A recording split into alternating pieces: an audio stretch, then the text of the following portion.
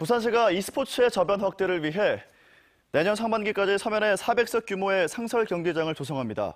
또 국제 e스포츠 연구개발센터를 만들어 학술 연구를 진행하고 국제 공인 심판과 선수를 육성할 계획입니다.